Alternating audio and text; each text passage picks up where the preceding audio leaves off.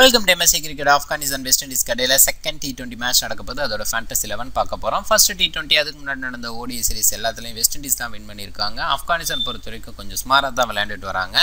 Pitch report அப்படின்னு பார்க்கும்போது லக்னோவில் தான் இந்த மேட்ச் நடக்குது. இந்த பிச்சில் தான் தொடர்ந்து மேட்சஸ்லாம் நடந்துட்டுருக்கு லாஸ்ட் மேட்ச் ஃப்ரெஷ் பிச் அப்படின்ற மாதிரி ரசித் கான் சொல்லியிருந்தாரு இந்த மேட்ச் அதே பிச்சில் தான் நடக்கும் அப்படின்ற விஷயத்தினால. கண்டிப்பாக ஸ்லோ டவுன் ஆகும். அதில் எந்த டவுட்டுமே இல்லை. பிச்சோட நேச்சரும் ஸ்லோ அப்படின்ற ஒரு விஷயத்த சொல்லிக்கிறேன். பெரிய ஸ்கோர் அப்படின்றத எதிர்பார்க்க முடியாது. ஓரளவுக்கு ஒரு நியூட்ரல் பிச் அப்படின்ற மாதிரி நாம் கன்சிடர் பண்ணி டீம் எடுத்துக்கிறது பெட்டராக இருக்கும். பவுலர்ஸ் ஆல்ரவுண்டர்ஸ் அந்த மாதிரி டீம் எடுத்துக்கிறதும் பெட்டராக இருக்கும். அதே நேரத்தில் வெஸ்ட் இண்டீஸ் ஓரளவுக்கு நல்ல கிரிக்கெட் விளையாண்டுட்டு வராங்க. ஆப்கானிஸ்தான் பொறுத்த பொறுத்த வரைக்கும் அவங்களோட பேட்ஸ்மேன்ஸ் வந்து சுமாரான பர்ஃபார்மன்ஸ் இருக்குது பவுலிங் ஓரளவுக்கு நல்ல யூனிட்டாக இருக்குது அப்படின்ற ஒரு விஷயத்த சொல்லிக்கிறேன். ஆப்கானிஸ்தானில் சில சேஞ்சஸ் எதிர்பார்க்கலாம். கரீம் ஜானட் உள்ள வரதுக்கான வாய்ப்பு இருக்குது போன மேட்சை பொறுத்த வரைக்கும் அவங்களோட பேட்ஸ்மேன்ஸாக ஷார்ட்டாக விளையாண்ட மாதிரி தெரிஞ்சதுனால நவீன் உல்ஹாக்கு பதிலாக கரீம் ஜானட் வரதுக்கும் வாய்ப்பு இருக்குது இல்லை ஃபரீட் மாலிக் பதிலாக கரீம் ஜானட் எடுக்கிறாங்களா? இல்லை அகமத் சாய் எடுக்கிறாங்களா? அப்படின்ற மாதிரி பார்க்க வேண்டியது இருக்குது வெஸ்ட் இண்டீஸ் சைடு பார்த்தீங்கன்னா ஃபேபி நாலன் ஒரு இன்ஜுரி போன மேட்சை பொறுத்த வரைக்கும் விளையாடும் போது நீ இன்ஜுரி அப்படின்ற மாதிரி ப்ராப்ளம் ஆச்சு. அவருக்கு பதிலாக லேண்டில் சிம்மன்ஸ் வரதுக்கான வாய்ப்பு இருக்குது ஏன்னா போன மேட்சை பொறுத்த வரைக்கும் ஃபேபியன் பவுலிங் பண்ணலை. போன மேட்ச்சில் பொலாடு எதிர்பார்க்கறது தான் நிறைய ஓவர்ஸ் போட்டார். அந்த ஒரு காரணத்தில் கண்டிப்பாக லேண்டில் சிம்மன்ஸ் இருக்கிறதுக்கான வாய்ப்பு இருக்குது இல்லை ஒரு பவுலராகவே போகிறாங்க அப்படின்னு சொன்னால் கேரி கேஆர்ஏக்கு சான்ஸ் கொடுப்பாங்களா? அவங்கள வந்து டி ட்வெண்ட்டியில் எடுத்து வருவாங்களா? அப்படின்னு பார்க்க வேண்டியது இருக்குது இல்லை கீமா பால் அல்ஜாரி சோசப் யாராவது ஒரு எதிர்பார்ப்பு இருக்குது வெஸ்ட் இண்டீஸை பொறுத்த வரைக்கும் சேஞ்சஸ் அப்படின்றது மினிமம் ஒரு டூ சேஞ்சஸ் அப்படின்றது எதிர்பார்ப்பு இருக்குது நான் போட்டிருக்க டீமில் லேண்டில் சிமெண்ட்ஸை மட்டும் உள்ளே கொண்டு வந்திருக்கேன். ஒரு பேட்ஸ்மேன்ஸ் அப்படிங்கும்போது ஒரு பவுலிங் ஆல்ரவுண்டர் அப்படின்ற மாதிரி கீமா பாலை உள்ளே கொண்டு வரதுக்கும் வாய்ப்பு இருக்குது அதே நேரத்தில் ஒரு ஸ்பின் ஆல்ரவுண்டர் அப்படிங்கிற மாதிரி கேரி பியரை உள்ளே கொண்டு வரதுக்கும் வாய்ப்பு இருக்குது இந்த சேஞ்சஸ் நம்ம எதிர்பார்க்கலாம். ஆப்கானிஸ்தான் பொறுத்த வரைக்கும் ஜசாய் ஓப்பன் பண்ணுறாரு அவரோட பர்ஃபார்மன்ஸ் ரீசெண்டாக ரொம்ப புவராக தான் இருந்திருக்கு டி ட்வெண்ட்டியில் குட்பாஸை பொறுத்த வரைக்கும் நல்ல பேட்ஸ்மேன் ஆனால் போன மேட்ச் ஒரு ஃபெயிலியர் டக் அப்படின்னு முறையில் அவுட் ஆனார். இப்ராஹிம் ஜெட்ரான் பொறுத்த வரைக்கும் நல்ல பேட்ஸ்மேன் இருந்தாலும் பெரிய பர்ஃபார்மன்ஸ் இல்லை. அஸ்கர் அஃப்கான் பொறுத்த வரைக்கும் நல்ல ஸ்டார்ட் கொடுத்தாரு அப்படியே கொண்டு போகலை.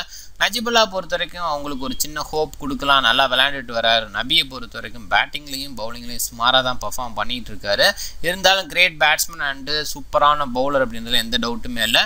குல்புதீன் நைப்பை பொறுத்த வரைக்கும் இந்த பிச்சுக்கு சூட்டான ஒரு பவுலர் பொலாடு இவங்க ரெண்டு பேருமே பார்த்தீங்கன்னா அந்த மிலிட்ரி மீடியம் ஸ்பேஸ் அப்படிங்கிற மாதிரி வீசுவாங்க அந்த இது வந்து இந்த பிச்சுக்கு சூப்பராக இருக்குது அவங்களோட வேரியேஷன் வந்து விக்கெட் எடுத்து கொடுக்குது.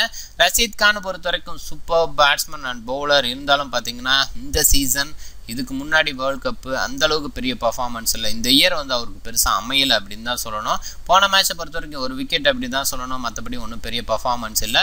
ஃபரீட் மாலிக்கை பொறுத்த வரைக்கும் இவங்களோட பிரைம் பவுலர் போன மேட்ச்சில் பேட்டிங்கில் ஓரளவு கான்ட்ரிபியூட் பண்ணார். பவுலிங்கில் ஒன்றும் பெருசாக விக்கெட் எடுக்க முடியல. இருந்தாலும் இந்த மேட்ச்சில் இருக்கிறதுக்கான வாய்ப்பு அதிகம். நவீன் உல்ஹாக்கை பொறுத்த வரைக்கும் போன மேட்ச் ஒரு விக்கெட் எடுத்தார். இருந்தாலும் பார்த்தீங்கன்னா இந்த மேட்ச்சில் இருக்கிறதுக்கான வாய்ப்பு கொஞ்சம் குறைவாக இருக்குது கரீம் ஜானட் உள்ளே வந்தார்னா ஓரளவுக்கு பேட்டிங்கில் கான்ட்ரிபியூட் பண்ணுவார். அந்த ஒரு காரணத்தினால கொண்டு வரலாம். முஜீபை பொறுத்த வரைக்கும் உங்களோட ஹோப் அப்படின்ற மாதிரி பண்ணிட்டு இருக்காரு நல்லா பெர்ஃபார்ம் பண்ணிட்டு இருக்காரு வெஸ்ட் இண்டீஸ் பொறுத்த வரைக்கும் பிரண்டன் கிங் எவின் லெவிஸ் ரெண்டு பேர் ஓப்பன் பண்ணுறாங்க கிங்கை பொறுத்த வரைக்கும் போன மேட்ச் ஒரு ஃபெயிலியர் இருந்தாலும் நல்ல பேட்ஸ்மேன் அப்படின்றது எந்த டவுட்டும் இல்லை ஸ்டார்ட்டில் ஒரு ரைட் ஹேண்டர் செம்ம பர்ஃபார்மன் பண்ணுறதுக்கான வாய்ப்பு இருக்குது இந்த பிச்சை பொறுத்த வரைக்கும். போன மேட்ச்சில் ஒரு அன்ஃபார்ச்சுனேட் மிஸ் பண்ணிட்டார் அப்படின்னு தான் சொல்லணும். இந்த மேட்ச் நல்லா பண்ணுறதுக்கான வாய்ப்பு அதிகம். எவின் லெவிஸை பொறுத்த வரைக்கும் போன மேட்ச் சூப்பர் பர்ஃபார்மன்ஸு நல்லா விளையாண்டாரு. சிம்ரன் ஹெட்மேரை பொறுத்த வரைக்கும் தொடர்ந்து அவரோட ஃபெயிலியர் தொடர்ந்துட்டு இருக்கு அப்படின்னு தான் சொல்லணும். போன மேட்ச் கொஞ்சம் நின்னார் அப்படின்னு தான் சொல்லணும். பெருசாக ஸ்கோர் பண்ணலை. லேண்டில் சிம்மன்ஸை பொறுத்த வரைக்கும் இந்த மேட்ச்சில் இருப்பாரா? கொஞ்சம் டவுட்டாக தான் இருக்குது இருக்கிறதுக்கான பாசிபிள் கொஞ்சம் அதிகம் அப்படின்னு தான் பார்க்கலாம்.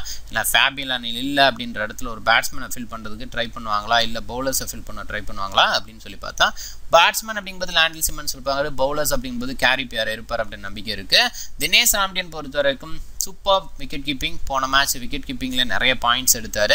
இந்த பிச் அதுக்கு ஆஃபர் பண்ணவங்க. குர்பாஸ்க்கும் அந்த மாதிரி ஒரு விஷயத்தை தான் சொல்லணும். தினேஷ் ராம்டின் பொறுத்த வரைக்கும் கண்டிப்பாக வந்து அந்த சாய்ஸில் பெஸ்ட் அப்படின்னு சொல்லி பார்க்கலாம். அதே நேரத்தில் பேட்டிங்லேயும் கொஞ்சம் முன்னாடி இறங்குறாரு. லேண்டில் சிமெண்ட்ஸ் இல்லை அப்படின்னா செகண்ட் ஒன் ஸ்டேஜில் தான் இறங்குவார் அப்படின்றதுனால அந்த சாய்ஸ் நல்ல சாய்ஸாக பார்க்கலாம். கிரண் போலாடை பொறுத்த வரைக்கும் எனி டைம் ப்ரொமோட் பண்ணிக்கலாம். விக்கெட் வந்து டாப்பில் விழாமல் இருந்ததுன்னா அவர் கண்டிப்பாக one down second one stage கூட ப்ரொமோட் பண்ணிக்குவார். அதே நேரத்தில் சில ஓவர்ஸ் வீசுகிற இந்த பிச்சு ஒரு ஓவருக்கு சப்போர்ட் பண்ணுது அப்படின்ற ஒரு விஷயத்தினால நல்ல சாய்ஸாக பார்க்கலாம். ஒரு பிச்சை பொறுத்த வரைக்கும் ஒரு கரீபியன் பிச்சு மாதிரி ஒரு ஸ்லோவாக ட்ரை அப்படின்ற மாதிரி இருக்குது எந்த மாதிரி பிச்சாக இருந்தாலும் இவங்களோட பேஸருக்கு விக்கெட் விழும். அந்த மாதிரி ஒரு ஹார்டாக ஹிட் பண்ணி போடுவாங்க. அந்த மாதிரி ஒரு பவுலர்ஸ் அப்படின்னு சொல்லி பார்க்கலாம். சர்ஃபேன் ரூதர்ஃபோர்டை பொறுத்த வரைக்கும் போன மேட்ச்சில் நிறைய ஓவர்ஸ் கொடுத்தாங்க. பேட்டிங் அப்படிங்கிற மாதிரி இருந்தது. இருந்தாலும் பெருசாக அவர் யூஸ் பண்ணிக்கல அப்படின்னு தான் சொன்னோம் சூப்பர் பிளேயர் அதில் எந்த டவுட்டுமே இல்லை. ரீசெண்டாக வந்து பார்த்திங்கன்னா அவருக்கு சான்ஸ் கிடச்சிக்கிட்டே இருக்கான அந்த சான்ஸை ப்ரூவ் பண்ண மாட்டாங்கிறாரு.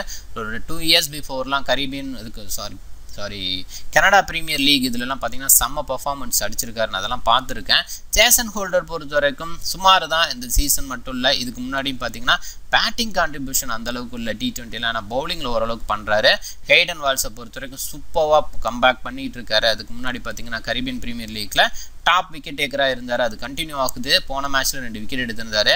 கேஸ்டிக் வில்லியம்ஸை பொறுத்த வரைக்கும் இவங்க டீமோட பெஸ்ட் பவுலர் அப்படின்னு சொல்லலாம் டி ட்வெண்ட்டியில் செல்டன் காட்டல் கூடவே சொல்லணும். அவர் பார்த்திங்கன்னா ஓடிஐ எல்லா ஃபார்மட்லையும் கலக்கலாக பர்ஃபார்ம் பண்ணிகிட்டு இருக்காரு. சேஃப் கேப்டனாக இந்த மேட்சை பொறுத்த வரைக்கும் முகமது நபி எவின் லெவிஸ் கிரண் போலாட் அப்படின்னு பார்க்கலாம். Maximum people Kieron Pollard Evin லெவிஸை தான் சூஸ் பண்ணியிருக்கிறாங்க. நபி பொறுத்த வரைக்கும் கூட பர்சன்டேஜ் வைஸ் கொஞ்சம் கம்மியாக தான் எடுத்திருக்காங்க. சிக்ஸ்டி ப்ளஸ் அப்படின்ற மாதிரி போயிடுச்சு ரிஸ்கி கேப்டன் அப்படின்னு பார்க்கும்போது ரஷீத் கான் சிம்ரன் ஹெட்மேர் அப்படின்னு பார்க்கலாம். ஹெட்மேரை பொறுத்த வரைக்கும் டாப்பில் இறங்குற ஒன் பேட்ஸ்மேனாக இருக்க ரஷீத் கானை பொறுத்த வரைக்கும் மிஸ்ட்ரி ஸ்பின்னர் சூப்பராக பவுல் பண்ணுவார். அதே நேரத்தில் பேட்டிங் சான்ஸ் கிடைக்கிறப்ப நல்லா விளையாடுவார். ஸோ அந்த ஒரு காரணத்தினால ஸ்டில் ஐ ஹோப் அப்படின்ற மாதிரி ஒரு விஷயத்தை பார்க்கலாம். டாப் லெவன் பிக் அப்படின்னு பார்க்கும்போது எவின் லெவிஸ் தான் அதிகமான பிக்கில் இருக்கார். கிரண் பொலாட் அதுக்கு அடுத்த ஸ்டேஜ் காற்றல் முஜிபூர் அப்படின்ற மாதிரி அந்த இது கொண்டு கண்டினியூ ஆகுது. உங்கள் சைடு பார்த்தீங்கன்னா ஃபோர் செவன் அந்த ரேஷியோவில் தான் டாப் லெவல்லே இருக்காங்க. அதே மாதிரி தான் மேக்ஸிமம் பீப்புள் எடுப்பாங்க அப்படின்ற கன்சிடரேஷன் நம்ம டீம் எடுக்கிறோம். லெவன்குள்ளே போகலாம்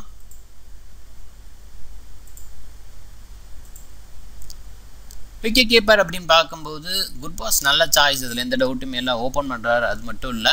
இந்த முன்னாடி எது ஃபஸ்ட்டு எது இறங்கினாங்கன்னா கொஞ்சம் ஸ்கோர் பண்ணுறதுக்கு வாய்ப்பு இருக்குது இருந்தாலும் இந்த சைடு கொஞ்சம் டாப் பவுலர்ஸ் இருக்காங்க. காட்ரல் வில்லியம்ஸ் ரெண்டு பேரும் ஹிட் பண்ணாங்க அப்படின்னா அவர் எந்தளவுக்கு பர்ஃபார்ம் பண்ணுவார் அப்படின்னு பார்க்க வேண்டியது இருக்குது ராம்டீம் கொஞ்சம் பெட்டர் சாய்ஸ் விக்கெட் கீப்பராக இருக்கிறார். அதுலேயே பார்த்தீங்கன்னா நிறைய ஒரு கேச்சஸ் இருக்கும் அப்படின்றது இருக்குது குர்பாஸை வேணால் ஒரு டீமில் கேப்டன் அப்படின்ற மாதிரி கிராண்ட் லீக்கில் ட்ரை பண்ணி பார்க்கலாம் அப்படின்னு விஷயத்தை சொல்லிக்கிறேன். ஆனால் குர்பாஸ் பொறுத்த வரைக்கும் ரீசெண்டாக ஓடி சாரி டொமஸ்டிக்கில் செம்மையாக பர்ஃபார்ம் பண்ணியிருக்கிற அந்த ஒரு காரணத்தினால பேட்ஸ்மேன் லிஸ்ட்டில் ஒரு மூணு பேட்ஸ்மேன் அப்படின்னு மாதிரி எடுத்திருக்கேன். இந்த ரேஷியோ கொஞ்சம் பெட்டராக இருக்கும் அப்படின்னு தான் நினைக்கிறேன். இந்த பிச்சை பொறுத்த வரைக்கும் த்ரீ த்ரீ ஃபோர் அப்படின்ற கன்சன்ட்ரேஷன் போகிறது ரொம்ப பெட்டராக இருக்கும். லெவிஸ் ஆஃப்கான் அண்டு கிங் uh, அப்படின்ற மாதிரி எடுத்திருக்கேன். இந்த பாயிண்ட் இருக்குது கிரெடிட் வந்து லெஃப்ட் இருக்குது அதனால் ஹெட்மேர் போகிறதுனாலும் போகலாம் லேண்டில் சிம்மன்ஸ் இருந்தால் கண்டிப்பாக அவரும் சூப்பர் சாய்ஸு ஆனால் லேண்டில் சிம்மன்ஸ் போகிறதுக்கு இங்கே செவன் ஃபோர் ரேஷியோ அப்படின்றது ஒத்து வராது. நஜிபுல்லா ஒரு நல்ல சாய்ஸு எந்த டைமும் ஹிட் பண்ணுவார் பெரிய ஸ்கோர் கொண்டு போகிறதுக்கும் வாய்ப்பு இருக்குது இனிஷியல் விக்கெட்ஸ் விழுந்தால் கூட அவரோட கேம் அவர் விளையாடுவார் அப்படின்ற நம்பிக்கைனால அவர் கண்டிப்பாக ஒரு நல்ல சாய்ஸாக பார்க்கலாம். ஒருவேளை ஜசாய் இல்லை வந்து இப்ராஹிம் ஜட்ரானுக்கு பதிலாக அகமதி எடுத்தாங்கன்னா அகமதி கூட நல்ல சாய்ஸ் இல்லை ஓவர்ஸ் விஸ்வர் இடையில அப்படின்ற ஒரு வகத்தினில் பார்க்கலாம். ஆல்ரவுண்டர்ஸ் அப்படின்னு பார்க்கும்போது three all rounders Nabi Pollard and Naib அப்படின்ற மாதிரி பார்க்குறேன். கரீம் ஜானட் இருந்தால் கண்டிப்பாக நல்ல சாய்ஸாக பார்க்கலாம். பேட்டிங்கில் நல்லா கான்ட்ரிபியூட் பண்ணுவார் அந்த ஒரு காரணத்தினால. பவுலர்ஸ் பார்த்தீங்கன்னா Rashid Khan Cottrell and Williams plus Walsh எடுத்திருக்கேன். வால்ஸை பொறுத்த வரைக்கும் எக்ஸ்ட்ராக்டராக இருப்பார். இந்த பிச்சை பொறுத்த வரைக்கும் போன மேட்ச்சில் ரெண்டு விக்கெட் எடுத்திருக்காரு. இன்னும் ஸ்லோ ஆகும். அதுலலாம் பார்த்தீங்கன்னா கண்டிப்பாக வால்ஸ் சூப்பராக வீசுவார். அதே நேரத்தில் கொஞ்சம் ஸ்லாக்லலாம் வீசுறாரு. காரணம் வந்து இவரோட விக்கெட் டேக்கிங் எபிலிட்டி அந்த மாதிரி சான்ஸ் கொடுக்குறாங்க. அந்த டைம் நிறைய விக்கெட்ஸும் எடுத்துருவார். கொஞ்சம் ஸ்லாகில் கொஞ்சம் டவுனாக விளையாடுற பிளேயர்ஸ் எந்த மாதிரி பிளேயராக இருந்தாலும் இவரோட ஸ்பின்னுக்கு அகேன்ஸ்டாக கஷ்டப்படுறாங்க. விக்கெட் ஈஸியாக விழுந்துருது அப்படின்ற ஒரு காரணத்தினால நல்ல சாய்ஸ் அப்படின்னு சொல்லி பார்க்கலாம். இல்லை வந்து முஜீபை நான் எடுக்காமல் இருக்கேன். ஸோ டாப்பில் வந்து பார்த்தீங்கன்னா எவின் லெபிஸ் பிரெண்டன் கிங் இவங்களை எடுத்துட்டு முஜீபை நான் எடுக்கிறது கொஞ்சம் நியாயமாக இருக்காது அப்படின்னு நினைக்கிறேன். ஒருவேளை பிரண்டன் கிங் எடுத்துட்டு நீங்கள் சிம்ரன் ஹெட்மேர் அப்படின்ற மாதிரி போனீங்கன்னா முஜிபுக்கு போகலாம் அப்படின்ற ஒரு விஷயத்தை சொல்லிக்கிறேன். இது என்னோட டீம் நீங்கள் டிஃப்ரெண்ட் டீமாக ட்ரை பண்ணுங்கள் அந்த வீடியோ பிடிச்சிருந்தா லைக் பண்ணுங்கள் உங்கள் ஃப்ரெண்ட்ஸுங்களுக்கு ஷேர் பண்ணுங்கள் உங்கள் கமெண்ட்ஸ் கீழே போஸ்ட் பண்ணுங்கள் சேனலை சப்ஸ்கிரைப் பண்ண மறக்காதீங்க. மிக்க நன்றி.